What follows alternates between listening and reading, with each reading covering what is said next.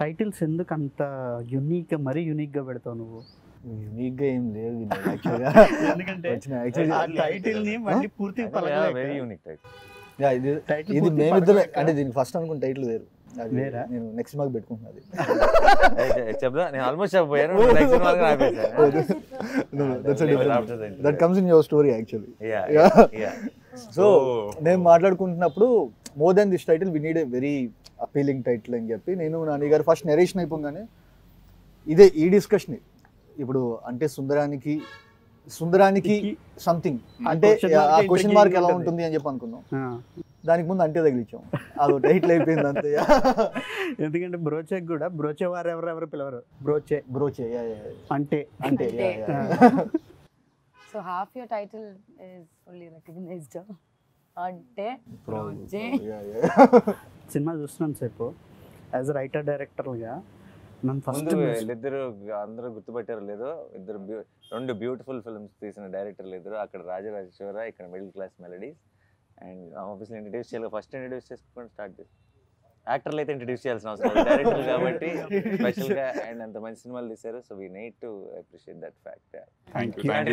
Thank you so writer డైరెక్టర్గా first సినిమా మొదలయ్యింది కొంచెం దూరం వెళ్తున్న సేపు నన్ను మస్ట్ మెస్మరైజ్ చేసింది రైటింగ్ అసలు. ఎలా వివేక్ ఇట్లా రాసేసాడు అసలు ఇట్లా ఎట్లా రాసాడు ఇంత డాషియస్గా ఉంది. అంత అంటే లెటర్ చెప్పాలంటే ప్యాకాడే ఉన్నాను రైటింగ్తో అది నన్ను బాగా బ్లో చేసింది అనమాట మైండ్ నువ్వు ఆ రైటింగ్ ప్రాసెస్ ఒకసారి చెప్పు నాకు. అంటే ప్రతిసారి రాయటమే ఫస్ట్ నువ్వు ఆ స్క్రీన్ ప్లే ఇన్స్టిట్యూట్గా అది వచ్చేసిందా? లేకపోతే ముందు స్టోరీ అనుకొని దాన్ని ఎట్లా ఇంట్రెస్టింగ్గా చెప్పాలనే ప్రాసెస్లో ఈ స్క్రీన్ ప్లే ఫార్మాట్కి అరైవ్ అయ్యావా? లేదు అది రాయడమే వచ్చాక అంటే ఫస్ట్ అబద్ధాలు ఆడే పోర్షన్ ఏదైతే ఉందో అది ఒక ఐడియా వచ్చింది.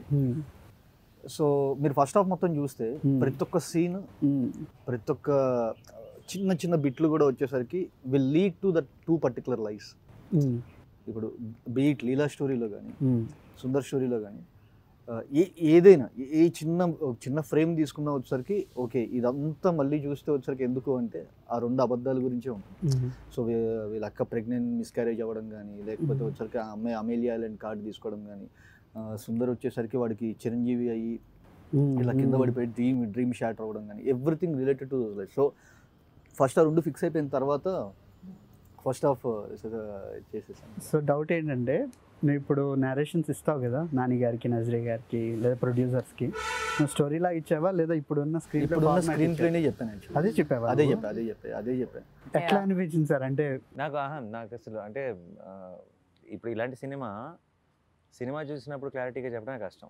అవును. అంటే సినిమా చూసినప్పుడే స్క్రీన్ మీదే అందరికీ క్లియర్గా అర్థమవుతుంది అన్నదే గొప్ప అచీవ్మెంట్ ఫస్ట్ ఆఫ్ ఆల్ అవును. ఇలాంటి కథ మనం కన్ఫ్యూజ్ అవ్వకుండా అర్థం కావటం నరేషన్లో అది ఇంకో లెవెల్ ఆఫ్ అది వినేవాడి గొప్పతనం. అన్ని క్యారెక్టర్లు ఎవరు ఎవరు ఏంటి అని తెలిసిన తర్వాత ఒక సినిమాని విజువల్గా చూస్తున్నప్పుడు ఆ చిన్న ఎఫెక్ట్తో ఒక ఫ్రేమ్ ఏదో అలా బ్యాక్కి వెళ్తుంది ఆ వెనక్కి వెళ్ళాం మళ్ళీ ఇక్కడ స్టార్ట్ చేసాం మ్యూజిక్తో కూడా వస్తుంది. ఇన్ని నరేటివ్స్లో క్లియర్గా చెప్పడం కూడా కష్టం. ఇలాంటి ఒక రైటింగ్. ఇది కథ చెప్తుంటే అప్పటికి ఏ క్యారెక్టర్ లేదు ఇప్పుడు సూర్యనారాయణ శాస్త్రి అనగానే మనకి ఇప్పుడు నరేష్ గారు అంటే స్క్రీన్ మీద వచ్చి మాట్లాడుతున్నారు.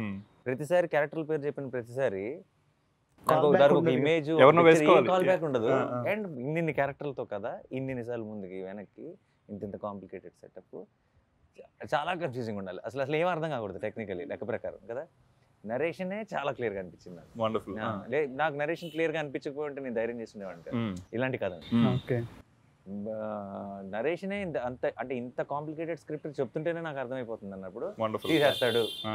క్లియర్గా తీసేస్తాడు అన్న నమ్మకం వచ్చేసింది అండ్ నాకు అసలు నేను తెగ ఎంజాయ్ చేశాను. నాకు ఫస్ట్ నాకు అసలు ఆ ఎపిసోడ్ ఉంది కదా బామ్మ. సౌమ్యతో బామ్మతో ఆ. మేనేజర్ నాన్నతో ఒక డైలాగ్ ఒక. డైలాగ్ ఒక డైలాగ్ ఒక డైలాగ్ అండ్ ప్రతి డైలాగ్ ఎండ్ నెక్స్ట్ షాట్ కట్టబోయేదానికి కంటిన్యూ అక్కడ ఉంటుంది. కంటిన్యూషన్ బిగినింగ్ ఆ ఎంటైర్ చంక్ ఇక్కడ కూర్చొని విన్నాను రూమ్లో. ఓకే. ఇక్కడ నాకు కూర్చో అటువైపు ఆపోజిట్లో కూర్చున్నాడు. ఇది అసలు ఎలా రాశాడా అని అనిపించింది. అంటే ఎలా హౌ ఇట్ అంటే దానికి ఎంత ప్లానింగ్ ఉంటే రాయగలం. అంటే ఇప్పుడు ఆ ఎపిసోడ్ చూసి మూడు సార్లు ప్లే చేస్తా. చెప్పు అంటే చెప్పలేవు. ఎగ్జాక్ట్లీ చూసేయండి అనాల్సి వస్తుంది. కదా ఏమి అసలు చూడకుండా లేదంటే ఆల్రెడీ మనకి కంప్లీట్ డిఫరెన్స్ లేకుండా రాసేటప్పుడే దాన్ని అంత మెటికులస్గా ప్లాన్ చేయడం అనేది అయితే అది మ్యాడ్నెస్ ఇలాంటి ఇలాంటి రైటింగ్ నేను తెలుగులో చూడలేదు ఎప్పుడు వినలేదు.